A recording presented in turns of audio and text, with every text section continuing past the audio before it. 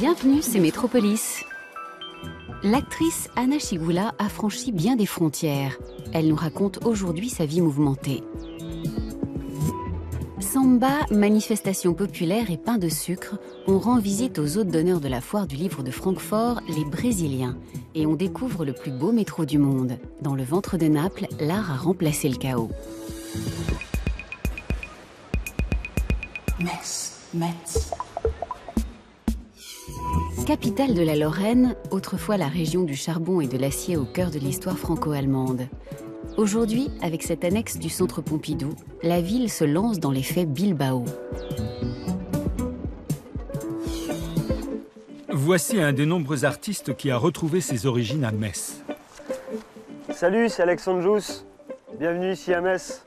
Je suis musicien et je vais vous montrer quelque chose de très original. Ça nous intéresse évidemment beaucoup.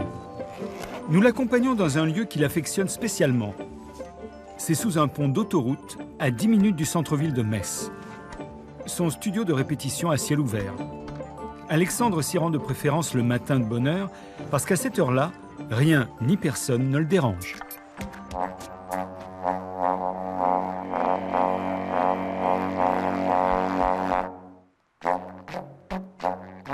Un corps des Alpes à Metz. Alexandre, qui a fait ses études à Paris, a découvert cet instrument il y a six ans dans les montagnes suisses. Il fait des tournées en Europe en jouant ses compositions modernes.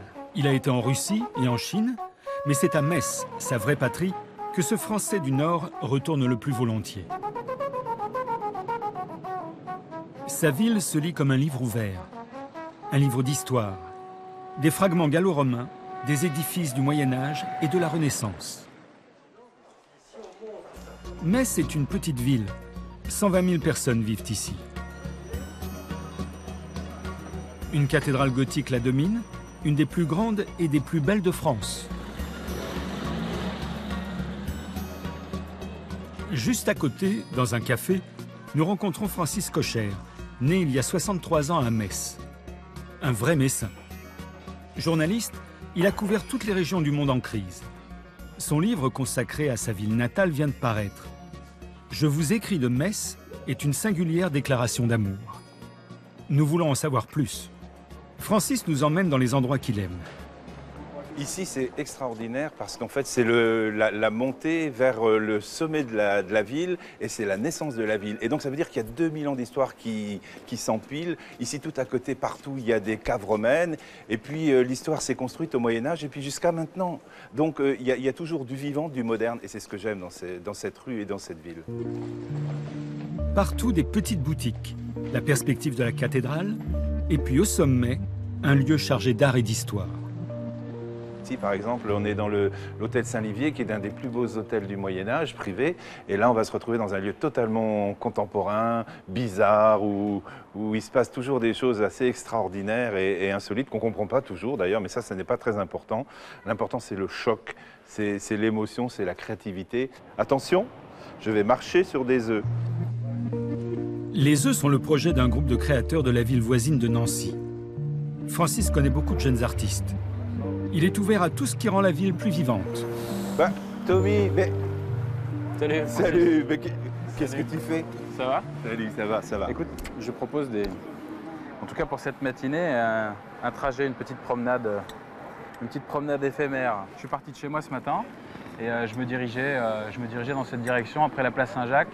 Je sais pas encore exactement. Je C'est un peu zarbi, entre- tu vas au marché là faire... Soit là ou soit à l'opéra ou peut-être même une troisième direction, je sais pas encore. Eh ben alors qu'est-ce que je te dis? Bonne chance ou bon appétit? Un peu les deux, sans doute. Tommy Laszlo est bien connu dans la ville. Il a 38 ans et travaille comme décorateur au théâtre et à l'opéra de Metz. Il enseigne à des étudiants à Paris et développe ses projets personnels. Mais qu'est-ce qu'il fabrique avec ses flèches?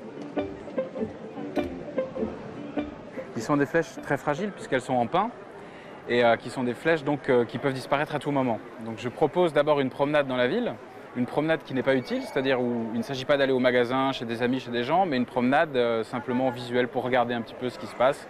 Donc j'invite un petit peu à flâner et à ne rien faire. Oh, joli Faut pas marcher dessus, hein Depuis que Tommy a fait le pèlerinage de Saint-Jacques-de-Compostelle à pied, il réfléchit sur le sens du voyage. C'est ça aussi qui m'intéresse, c'est que finalement, est-ce qu'on peut changer de direction et dévier vers un projet qui est proposé alors qu'on s'y attend pas? Et la plupart du temps, naturellement, on n'a pas le temps. Donc je m'attendais à ce qu'effectivement les gens, pour la plupart, ne suivent pas ces flèches. Quant à nous, nous les suivons, parce que les flèches de Tommy conduisent à des endroits inhabituels, comme une répétition à l'opéra, ou bien une heure de cours d'Alporn. Bonjour, bienvenue dans mon studio. C'est ici où je répète, je compose et je donne mes cours avec aujourd'hui un de mes élèves, Pascal.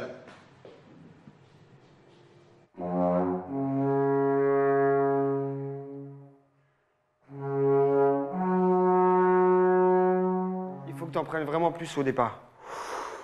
Bon, bon. Je suis vraiment tombé amoureux du son, euh, la, résonance et la profondeur du son de cet instrument. Et on peut faire tellement des choses joyeuses et aussi des choses tristes. On peut vraiment euh, donner toutes les humeurs qu'on veut avec un, avec un corps des Alpes. Et c'est, vraiment ça qui me, qui me plaît dans cet instrument. C'est le son que ça peut produire. Ensuite, un concert privé. Le son de Metz sur son corps des Alpes.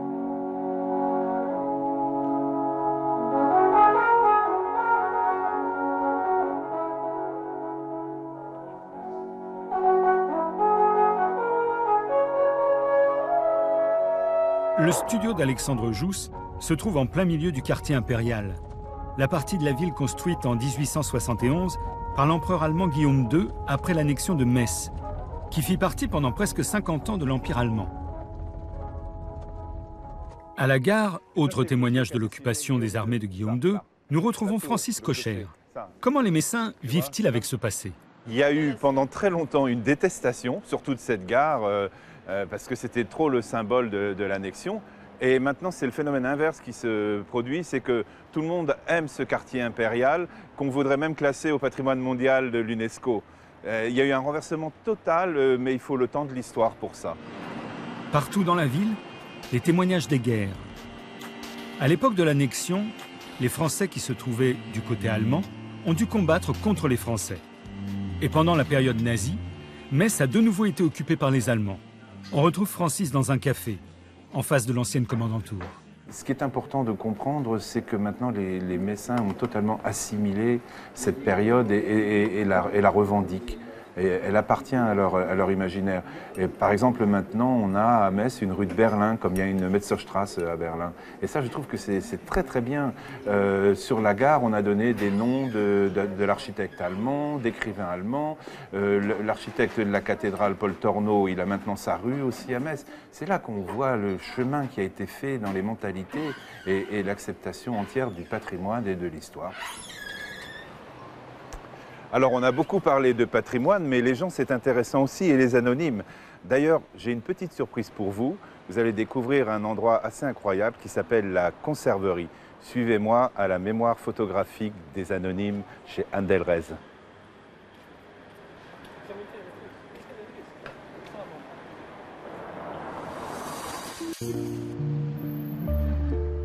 On revient à Metz, une autre beauté, avec sa splendide cathédrale gothique, ses ruelles moyenâgeuses, son quartier impérial.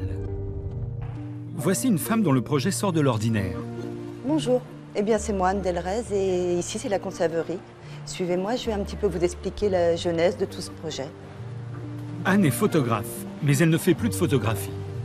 Elle collectionne les photos de famille qui auraient normalement dû échouer à la corbeille à papier. Un hommage aux photographes et à leurs modèles. Comment cette idée lui est-elle venue? C'est un bout de euh, Charles et Gabriel. Alors euh, Charles, Gabriel, mon grand-oncle, ma grande-tante. C'est des photos dont j'ai hérité il y a dix ans. Euh, ma famille euh, s'est distribué l'argent et tout ça, et moi ils se sont dit Oh, Anne est photographe, on va lui donner les photographier. J'ai ouvert tout ça, j'ai appelé ma famille en disant Mais est-ce que vous aviez regardé? Bah oui, Anne, c'est des photos de famille. Et en fait, personne n'avait pris le temps de regarder que à chaque photo de l'un répondait en symétrie l'autre. Et ça pendant euh, toute leur vie amoureuse qui a duré un peu plus de 20 ans.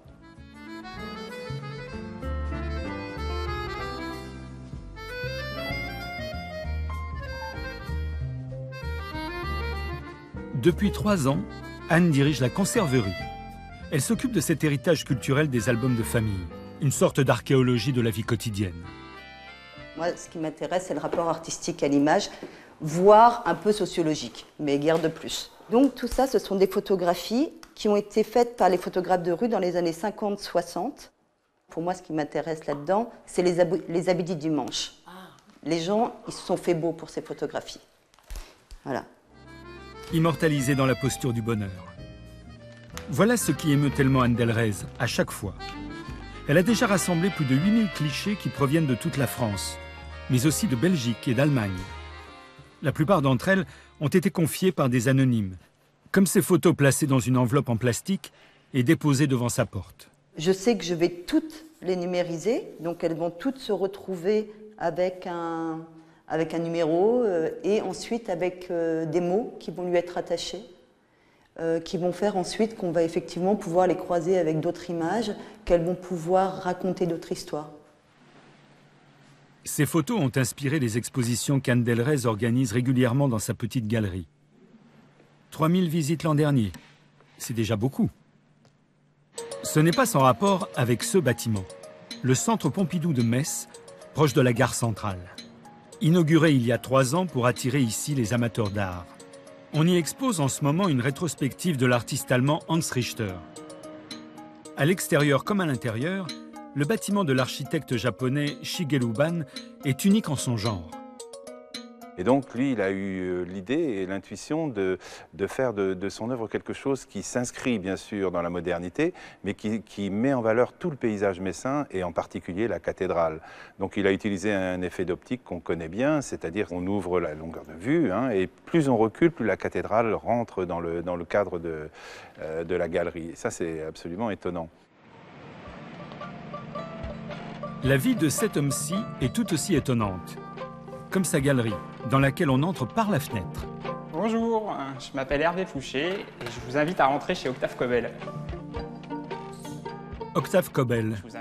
Ce nom imaginaire sonne comme celui d'un riche mécène. Mais derrière se cache tout autre chose. C'est un lieu pour les jeunes artistes qui exposent pour la première fois. Ils sont hébergés dans l'appartement d'Hervé. L'idée lui est venue il y a une dizaine d'années. Au début, effectivement, euh, c'était un peu un rêve d'adolescent euh, de se dire bon allez, je vais faire ma galerie, euh, faire mon lieu d'art contemporain dans ce milieu qui est tellement des fois fermé et, très sélect. Et en fait, on a eu beaucoup de sympathie dès les premières années, que ce soit des financeurs du public et des artistes et du milieu professionnel. Salut, à la prochaine, ciao ciao Metz, une ville où beaucoup de choses semblent possibles. La nuit est tombée. Sur une colline aux limites de la ville, nous retrouvons Alexandre Jousse. Il est temps de quitter Metz, une ville qui a réussi à se redéfinir. C'est encore un secret, mais il convient de le partager.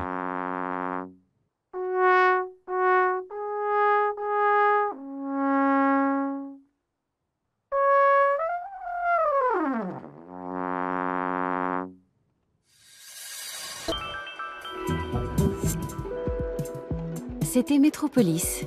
Merci de nous avoir suivis. Et à la semaine prochaine, nous serons à Nantes.